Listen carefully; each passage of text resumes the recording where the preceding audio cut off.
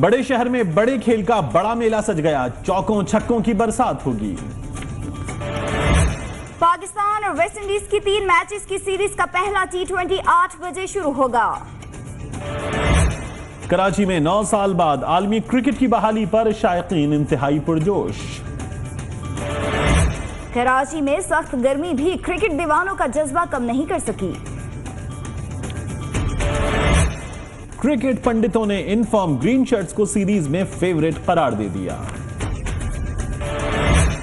Green shirts کو محمد عامر اور حسن علی سے طوفانی بالنگ کی توقع۔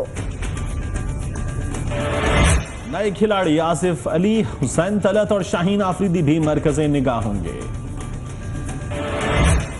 مہمان ٹیم کی قیادت جیسن محمد کریں گے بدری سیمویلز فلیچر بھی شامل۔ مختصر دورانیے کی کرکٹ میں پاکستان کو مجموعی طور پر حریف پر برتری۔ بیٹنگ میں پاکستان کے بابر اعظم تو بالنگ میں سیموئل بدری پہلے نمبر پر۔ میچ کے لیے سیکیورٹی انتہائی سخت۔ نیشنل اسٹیڈیم میں جدید ترین مانیٹرنگ روم تیار۔ پاک فوج کے دستے نیشنل اسٹیڈیم پہنچ کے علاقے کی فضائی نگرانی بھی کی گئی۔ اسٹیڈیم کے اطراف سڑکیں بند میچ دیکھنے کے لیے آنے والوں کو پارکنگ تک آنے کی اجازت۔ پارکنگ سے شائقین کو اسٹیڈیم لے جانے اور واپسی کے لیے شٹل بس سروس موجود۔ سہیل سیال کا وفاقی اردو یونیورسٹی پارکنگ ایریا کا دورہ سیکیورٹی کا جائزہ۔ وزیر داخلہ سندھ کا کہنا ہے پی ایس ایل فائنل کامیابی سے کرا کر پہلا میچ جیت چکے۔ کراچی ایک طرف لوڈ شیڈنگ دوسری جانب میچ کے لیے بجلی کا بے دریغ استعمال۔ نیشنل اسٹیڈیم کے باہر دن میں بھی اسٹریٹ لائٹس بلا وجہ روشن رکھی گئیں۔ ملک میں کرکٹ کے میدان آباد ہونے پر ملتان کے شہری بھی نہایت خوش۔ کرس گیل بھی پنجابی گانوں کے دیوانے نکلے کشتی میں بھنگڑا ڈالا۔ احسن اقبال کا کہنا ہے جلد پشاور اور کوئٹہ میں بھی انٹرنیشنل میچز ہوں گے۔ احسن اقبال کی اگلیہ پر تنقید کہا دس دس سال سے مقدمات زیر التوا ہیں۔ مسلم لیگ نون نے سوات میں میدان لگا لیا پنڈال میں پارٹی پرچموں کی بہار۔ لاڈلے عمران نے سب کچھ مانا لیکن اسے نہیں نکالا گیا نواز شریف کا خطاب۔ نواز شریف اور دیگر رہنما پہلے معلم جبا پہنچے زہرانے میں شرکت کی۔ سوات میں نون لیگ کا پاور شو ہیوی بٹ پہلوان خان بابا بھی پہنچ گئے۔ شہباز شریف گیارہ روز بعد لندن سے واپس پہنچ گئے علاج کے لیے گئے تھے۔ وزیر اعلیٰ پنجاب شہباز شریف کا شیخو پورا میں ڈی ایچ کیو ہاسپٹل کا دورہ۔ شہباز شریف کہتے ہیں پنجاب میں صحت عامہ کے شعبے میں انقلاب لا رہے ہیں۔ ملاول بھٹو کا کہنا ہے ملک میں نظریاتی سیاست کے لیے جگہ کم ہوتی جا رہی ہے۔ عدلیہ اور سیاستدانوں کو اپنا اپنا کام کرنا چاہیے بلاول بھٹو کی حیدرآباد میں گفتگو۔ پیپلز پارٹی کے چیئرمین بلاول بھٹو زرداری کی حیدرآباد میں جام ساکی مرحوم کے گھر آمد۔ پیپلز پارٹی کے رہنما قمر زمان کائرہ کا کہنا ہے حکومت بوکھلاہٹ کا شکار ہے۔ عوامی عدالت قانون کے فیصلے نہیں کرتی قمر زمان کائرہ کی چنیوٹ میں گفتگو۔ عمران خان کا لاہور کے دورے کا آج دوسرا دن کارکن پرجوش۔ چیئرمین پی ٹی آئی کے مختلف علاقوں میں ممبر سازی کیمپس کے دورے۔ متحدہ کی ایک اور پتنگ کٹ گئی۔ M N A Waseem Hussain P S P میں شامل۔ وسیم حسین نے کہا متحدہ کی قیادت نہ کارکنان سے مخلص ہے نہ عوام سے۔ انیس قائم خانی کا کہنا ہے حلقہ بندیاں آئندہ الیکشن میں دھاندلی کی شروعات ہے۔ عام انتخابات سے قبل الیکشن کمیشن اور وفاقی وزارت خزانہ میں ٹھن گئی۔ حکومت کا الیکشن کمیشن کے ملازموں کے الیکشن الاؤنسز بڑھانے سے انکار۔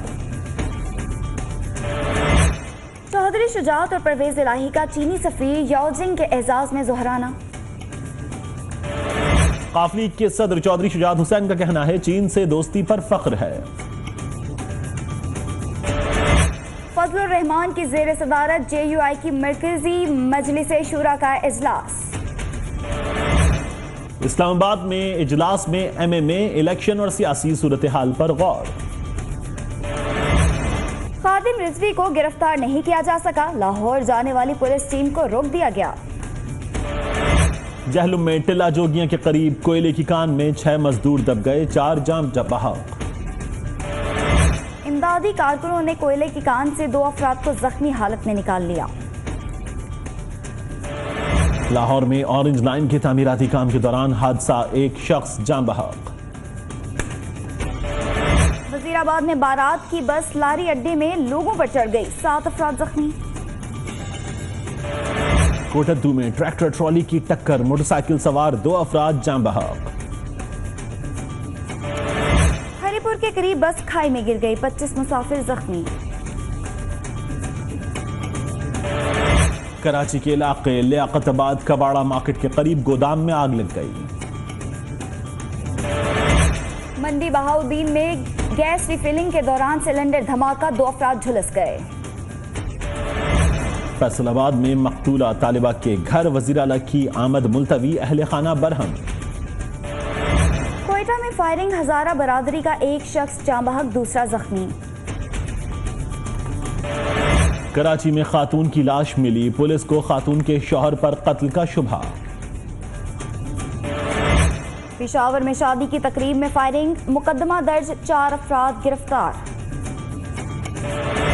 کہوٹا میں ملزموں کی فائرنگ سے پولیس اہلکار زخمی ہو گیا۔ لاہور میں گارڈ کی فائرنگ سے نوجوان زخمی فوٹیج 24 نیوز کو موصول۔ یہود و ہنود کے مظالم کا مقابلہ فلسطینیوں کے بعد کشمیریوں کے خلاف بھی بربریت۔ مقبوضہ کشمیر میں بھارتی فوج نے دس نوجوانوں کو شہید کر کے لاشیں پھینک دیں۔ مقبوضہ کشمیر میں جھڑپوں میں دو بھارتی فوجی بھی مارے گئے۔ اسرائیلی فوج کے ہاتھوں شہید سترہ فلسطینی سپرد خاک فلسطین میں مکمل ہڑتال۔ اسرائیلی فوج نے غزہ کی پٹی کے اندر بھی کارروائی کی دھمکی دے دی۔ کشمیر اور فلسطین میں بربریت کے خلاف اسلام آباد میں احتجاجی مظاہرہ۔ مشال ملک کہتی ہیں مسلمانوں کے خلاف بھارت اور اسرائیل کی پالیسی ایک ہے۔ ترجمان دفتر خارجہ کی بھی کشمیریوں پر بھارتی مظالم کی مذمت۔